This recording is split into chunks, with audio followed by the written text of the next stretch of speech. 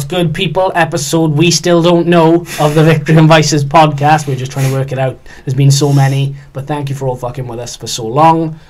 Oh man, it's been a big week. Damn. And the names of us, we're below. A lot of you people still aren't adding us on Twitter and IG, by the way. It's disappointing. Very disappointing. It is disappointing. Very disappointing Yeah. that we had over 70 subscribers on fucking YouTube. Not one of you actually tweeted us. And there's still one person in Mountain Hills in the USA. You listen to us every week and you still haven't tweeted us. So What please, you if doing? you're out there, get in touch. But yeah, damn, what a motherfucking week. What a week. It's hit us like a ton of bricks. This news, didn't it? Oh man. Like, we had- City. We had Oh. other stuff. You know, we have loads of stuff to talk about, but this took the absolute priority. We have real life stuff to talk about as Yeah. well, but this took priority, let me tell you. All right, where do we start, bro?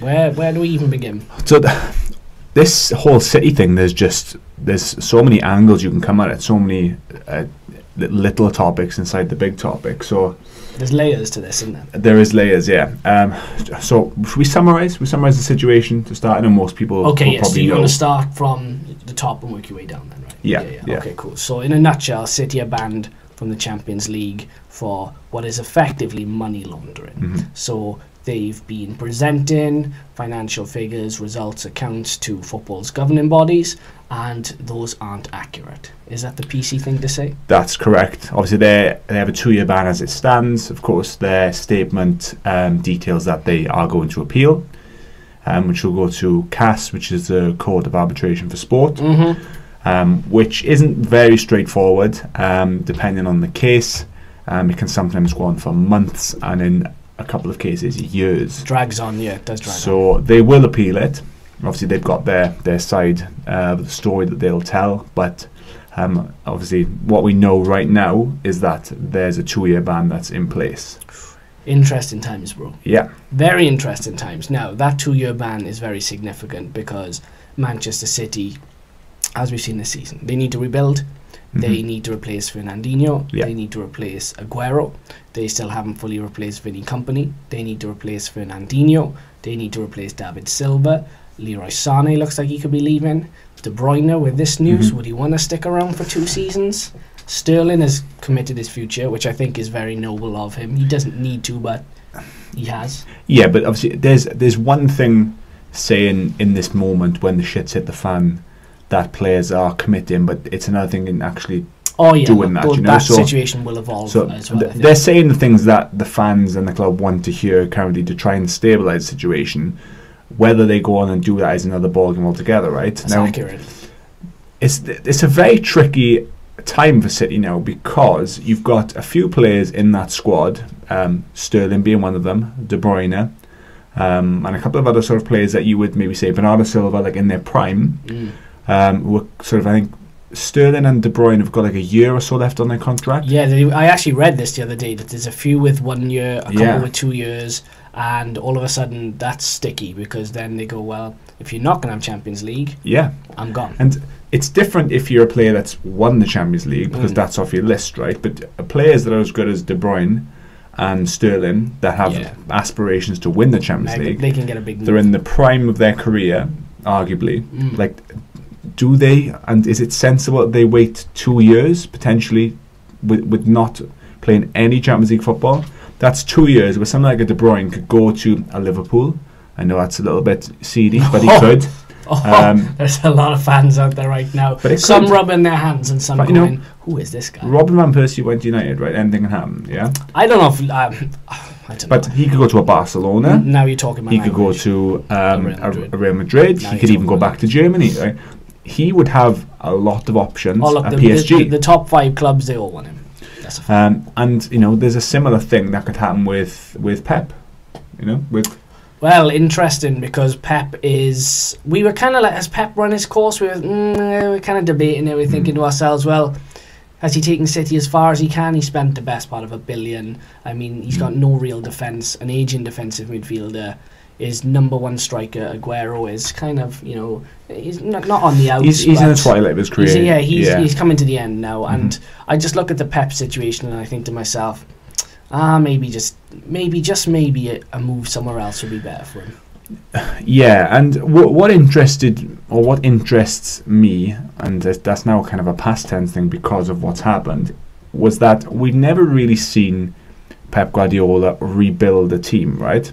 Yeah, I've He's never, never really done seen that. him build a team either. Well, obviously, totally he's like with Barcelona, was he sort of helped develop the youth side into what, to degree, what yeah, was brilliant. degree, yeah. Um, and obviously, he's taken teams that are pretty good already and then Mm. added to it and developed He's them a added bit further. to it. Yeah, that's a fact. But yeah. he's never. So when a team that he's um, managed is coming to the end of its cycle, he's Mm. left before he's rebuilt. He's not a rebuilding manager. that he isn't.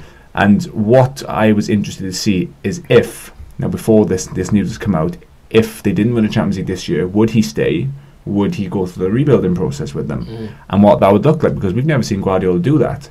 Now, there was scope for that to happen. Now, with this news, obviously, if they don't win the Champions League this season and this ban stays, yeah, then they the one trophy he wants and City want, they can't win that for the next. That'll be three seasons. and the one thing about this that has serious implications now is all eyes are on City. Mhm. It's when once you are sort of dealt a rough hand publicly. l- the- I say a rough hand. I mean it's probably the correct hand. It's probably the wrong terminology I'm using. Mhm. But when you're made an example of, people will then hold you up here and go, okay, you're you're the barometer now. This is this is what happens to people like you and people who do wrongdoing.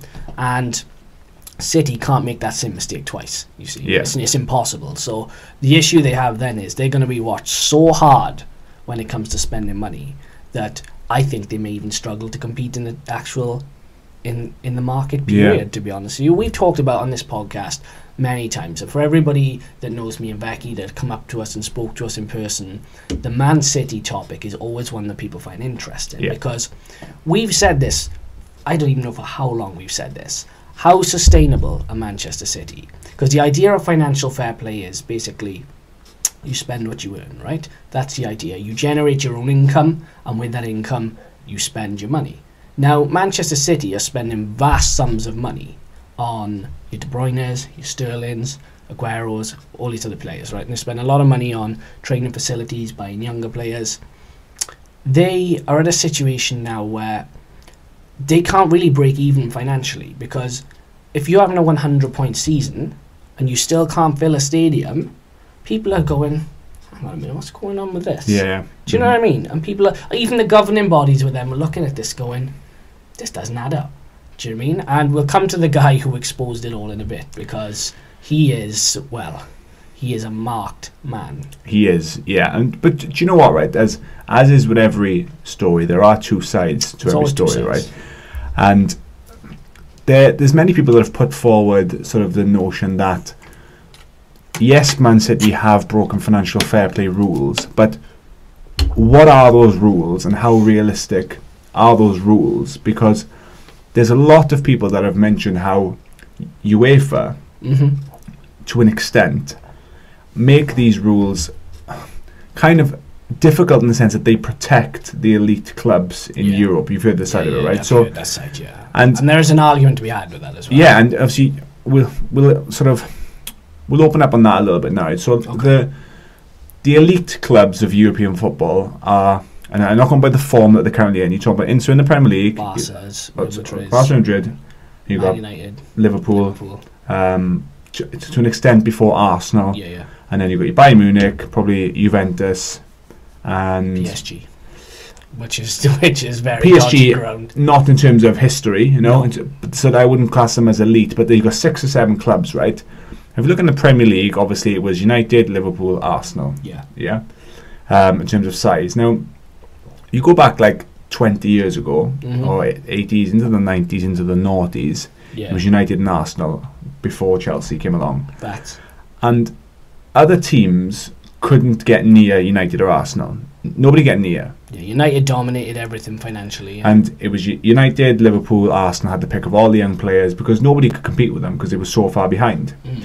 Now, if you wanted to organically grow to reach the size of United or Arsenal, Liverpool, it would have taken you 20, 30 years. I was going to say even longer. It might take 50 longer. years. And yeah. that's if you do it right. Yeah, So the only way that someone was able to add to the competitiveness yeah. was investment. Yeah. What some would may call financial doping. I Yeah, and, the terminology. You know, your opinion on whether you think that that's right or wrong is remove that for one set. You know, for one yeah, set. yeah, yeah. and you just have to accept it. For other clubs to make the league more competitive in terms of the clubs that can compete. To catch up, yeah, Yeah. you have to. to catch up, they needed to invest money. Mm. Chelsea did it first, and then City followed. Mm. Now there are positives of that. Obviously, the league now you're looking at five or six, seven teams that can all beat each other. Whereas you know it used to be United, Arsenal. Yeah. Yes, City spent a lot of money. Um, it's probably not very well balanced in the books, but they got young talent coming through. They created jobs. They've done a lot for the community, the infrastructure, sort of the academy. It- you know, there's a lot of positives. Mm. They've bought players from and sold players to different teams around Europe, so the money is is filtering out also. Um, so f- from that angle, Your like glass is half full. I like it. I just I just think that I like it. you we, we've seen UEFA being biased fuckers in the past, right? And They and, are very biased. They are. There's many things wrong with UEFA, right? And Ain't that the it's almost like because City have spent all this money and they still haven't cracked Europe. You forget they've only cracked the Premier League. Mhm.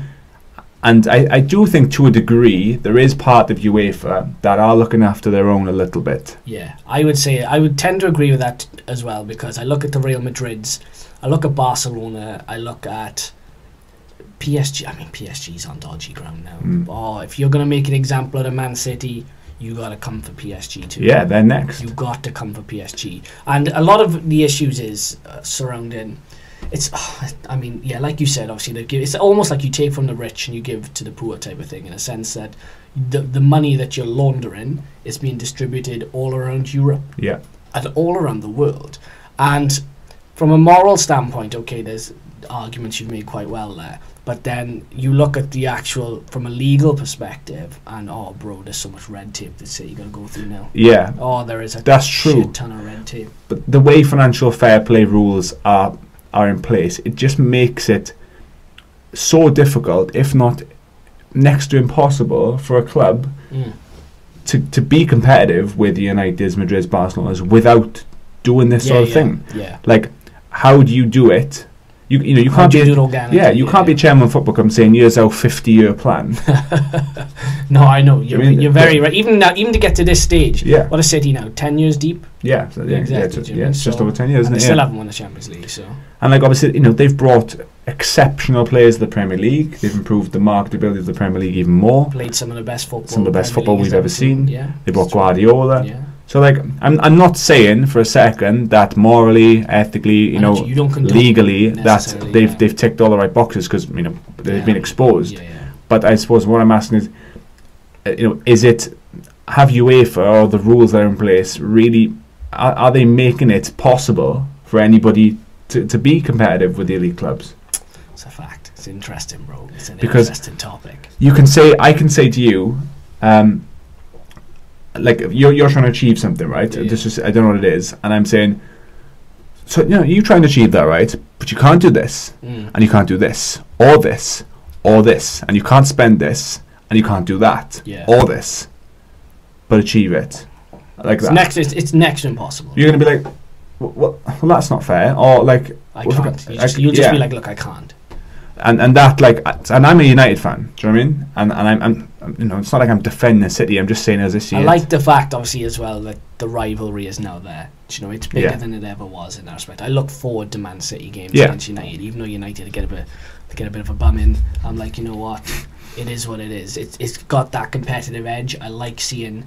I was going to say 22 world class players, but then I remembered Phil Jones plays for Manchester United still. Got So, about twelve, yeah, maybe thirteen. so I remember 11 world class City players on the City side and and then Rashford on the other side. Yeah, that's Mhm. about it. But yeah, moving forward, going back to the exposure side of things. yes, because, um, interesting. Oh boy. Oh boy. This now, I'm throwing this out there.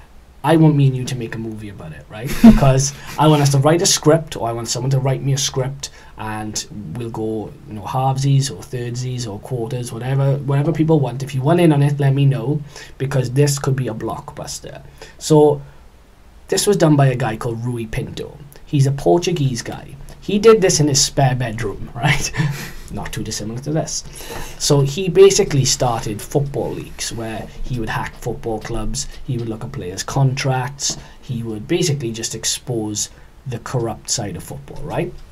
Now get this, right? Because this is off I won't say the certain websites. I don't want to name them, right? But basically, uh, he's been arrested now, and he's been put in a Portuguese jail, and he is awaiting uh, basically a court case in Portugal. So this is just this is nuts. Like if you if you said to me there's a film about a guy in his spare bedroom who hacked a football club or sporting institution, downloaded what I'm reading here 70 and I'm I, again this figure might not be accurate 70 million documents and 3.4 terabytes of information right? And he has exposed everything from money laundering to tax fraud and to clubs breaching financial fair play. This guy downloaded 70 million documents and this is just Man City by the way right? This is just them, Them this alone, is, yeah. this is them alone. This thing is huge this has got Hollywood written all over it. This guy hacked the unhackable. And he took it all and he said, you know what? I don't even want any money for it. And he gave it straight to the press for free. And now he's in jail.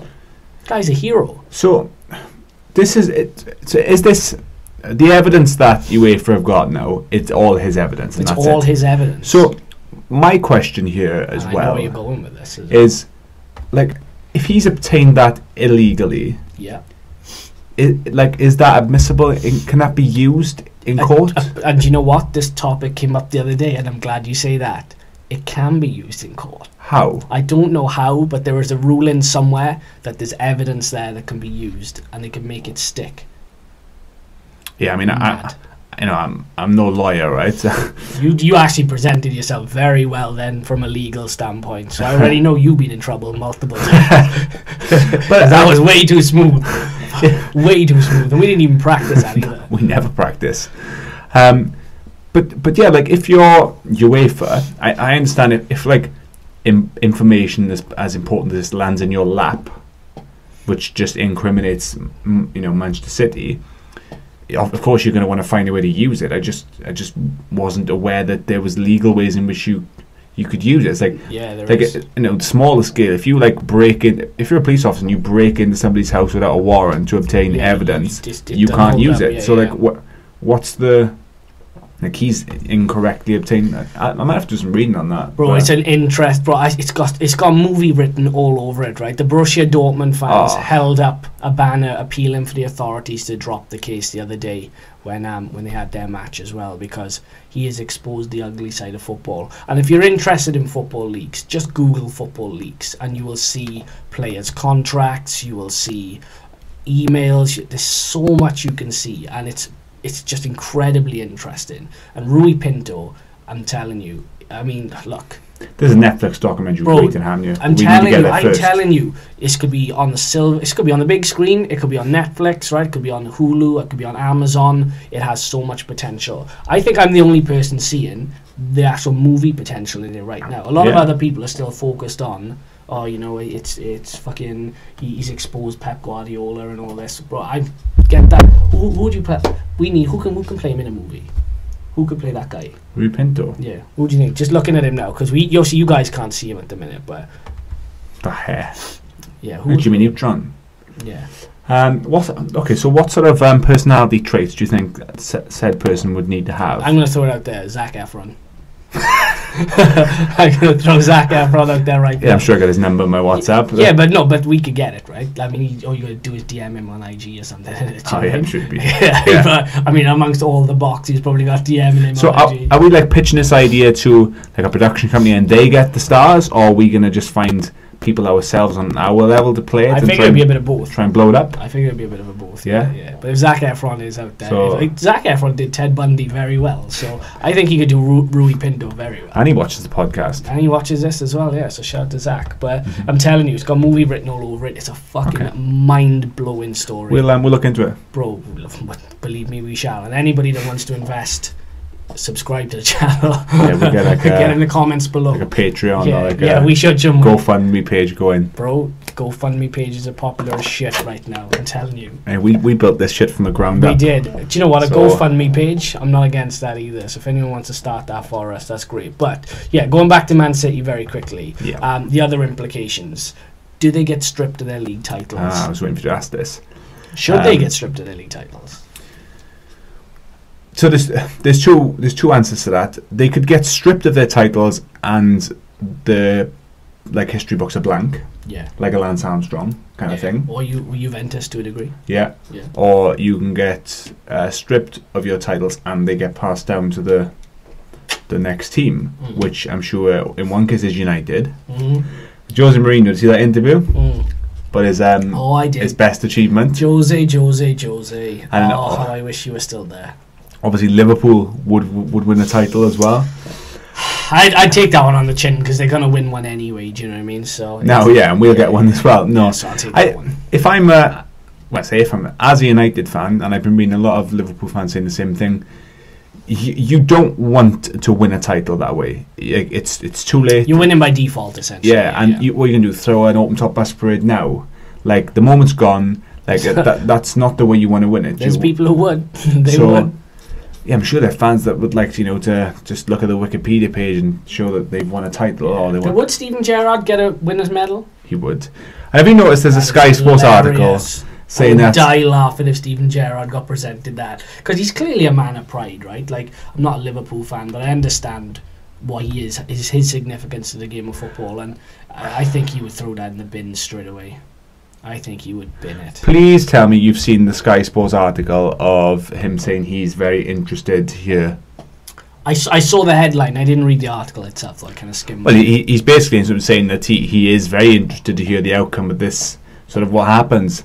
And like, he's a bit thing him saying that because he currently manages a club that's got relegated down how many divisions oh, because oh yeah, Rangers. Yeah, because they were weren't being very very I don't know the Rangers' history because I'm not that big into Scottish football, but um, I imagine the irony that he's managing a club that's is- uh, only is- on the bounce back from that. yeah. Um, I don't, I, I don't know, like, if you, the opinion I just gave on the flip side of this argument would tell you and the people watching that I'm not that asked about it, and I kind of think on the other side that UEFA are for being a bit overprotective.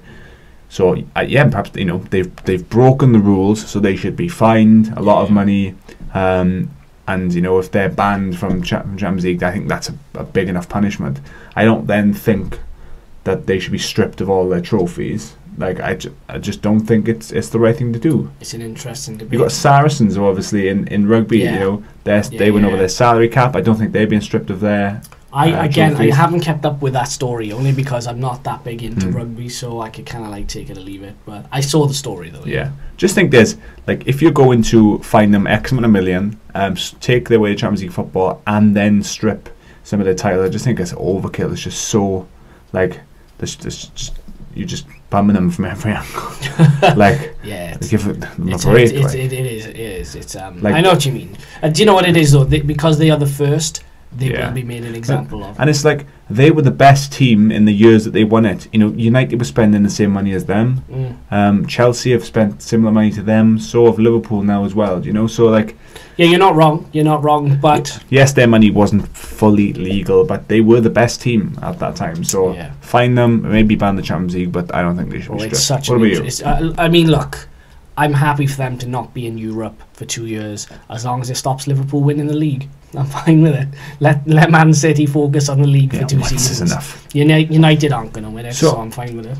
The next question that we have on implications then Okay. is the so there's a lot of people saying that there's there's potential now that this can open up a, the fifth spot Mm. in the league. I've read it like from a few things that that's not 100% guaranteed yet. Not yet. but yeah, there, yeah, but it looks like that'll be a fifth spot. Like, wh- wh- what what's your take on that? You, My take on that is Sheffield United are going to look good in Europe. When Sheffield United, Lane. when Sheffield United go to Madrid and turn them over? I will applaud. Look, it's going to be one. It ain't going to be United. I'll tell you that now. Like, I think it could cause further embarrassment for United because you know with top four, you know, I mean, you were we're a bit thinking like, ah, we're probably not going to get. I know. United won't get it. Um, I said at the start of the season, struggled. come seventh. I, yeah, I maintain that. and we've struggled to break in back into that top four um, in the last few years. If they open that to a fifth spot and we still don't get it, that just makes Ole look like even more of a substitute teacher, doesn't it? Like you always say. Oh man, I wish he would go. But uh, Like, yeah. yeah. if there's four, we don't make it. We're like, ah, we knew that anyway. If there's five, and like, a if Sheffield United, Look, the, the Um, harsh reality is this: United are not going to come fifth. United won't even come sixth. They'll probably come seventh. Arsenal are only a point point behind United now, and Arsenal have been trash all season. Arsenal haven't even woken up until February, right? And they're still going to finish ahead of United. Sheffield United are going to finish ahead of United. Wolves are going to finish ahead of United. Chelsea, Spurs, they'll all finish ahead of United, right? I'm telling you now because United haven't got it in them and they're being managed by the wrong guy. I'm not going to digress because I'll just get annoyed, right? So we'll, we'll wrap it up, right? In terms of the Man City talk, um, just very quickly before we go, Jadon Sancho, subject to um, some very big talk um, about moves to Chelsea, about moves to Manchester United. There's talk of Man City. I think that'll be sort of slid out you know, the back door now. That's that's not going to happen. Yeah. Um, where do you think his future lies after the Euros or before the Euros if he goes? I just want you to pick, in your expert opinion, where would you place Jadon Sancho as the, the best next move for him? Not the move you necessarily think he will make, but the best next move. Well, his best move is. Uh, well, well, I don't think it's United. I don't think it's United either. As I- much I- as it pains me to say that, because I'd love him there, I don't think it is. Yeah, I'd love him there. Like, I, do, I also like Chelsea are in for him. You know, potentially, or or Liverpool. Chelsea with no Willian and Pedro means obviously Ziyech and Sancho. The space is free. Yeah, Liverpool, I don't see where he really fits in. unless like a Salah goes. Yeah, I don't see the Liverpool move. I could see the Chelsea move. The United move, me and Becky discussed this the other day. I could see it for money purposes and commercial purposes, but that's just a stepping stone to something else. Like if he's years. being sold, obviously you know they've signed Fernandes now. Obviously to have him, Mm. um, if they're saying that the, he's selling a dream, like you know this summer we're gonna have a massive overhaul. If there's potential, at all he could be going. And something like a Poch could be coming, like we said. I'd like that. Then you know you could be saying these things to Jadon Sancho, and he could be going, hmm, okay. The, the landscape is seems slightly lot different, yeah, and yeah. and we you know something like a Poch with these sort of technicians, you know maybe we could go places, but the way the current uh, situation is, I can't see all that much of an attraction apart from the history of the club and the wages, right? Okay. Um, so Chelsea, as much as it pains me to say it, the fact they've also got Ziyech, which we've spoke about so many times, Oh man, one of my favourite players in Europe as well. For 38 million, and I've said about his stats before, He's a steal. it's, it's a steal. You know, like Tielemans was a steal for 40 million, Ziyech for 38 is a bigger steal. Yeah. If, and yeah, like Pedro and, and Willian are on their way out, and obviously that's if yeah, he would be a good fit for Chelsea. He'd be a very good fit for Chelsea. If I was him, Mhm. and I would I would make a very big push. Again, it might not necessarily happen this season if you had to wait maybe one more season.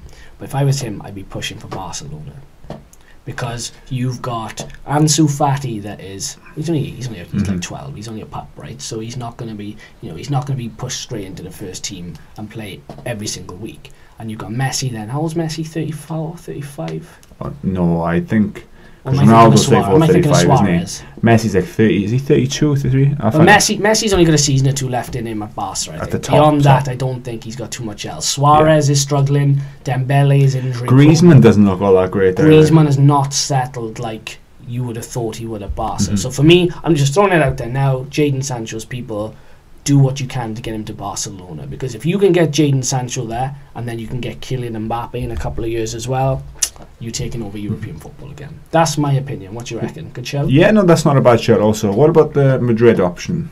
Madrid, mm, I, I'm more of a Barcelona fan than a Madrid fan. I just, I just like Barcelona. I, I like what they Yeah, stand. but like he's Jadon Sancho's like an out and out winger, and he would suit Madrid very well. I mean, Yeah. him, Hazard.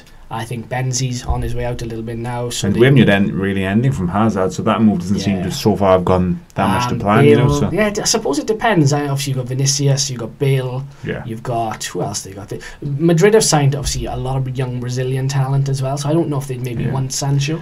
I think the what we're realizing here there's, there's three or four clubs ahead of United that Already. you would think he would suit better. I think Barcelona would be down to the ground. But uh, but as we know, money talks, Oh, it does. and if United aren't attracting players based on their on the field um, sort of antics at the moment, and accolades, yeah. achievements, then they certainly still Yeah. can financially. So Yeah, I think if the only st- st- sort of struggle Barca would have is Dembele is primarily injured again now for the rest of the season. They'll Mm. struggle to really offload him. Coutinho, they may struggle to offload him.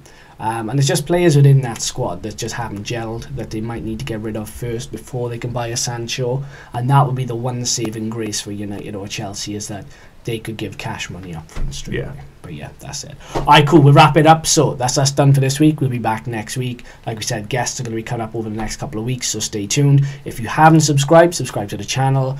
Our ads are in the bottom comments as well. So yeah, make sure you know add us up for fuck's sake. Like at least someone add us up. Jesus Christ Almighty! do it like, already. I know 70, 70 subscribers over Christmas, and not one person tweeted us. Unbelievable. But anyway, that's how the world of the internet works. So I'm Ruairi mm-hmm. Spooner. This has been James Veck. We out till next week. Take care, people. Ciao.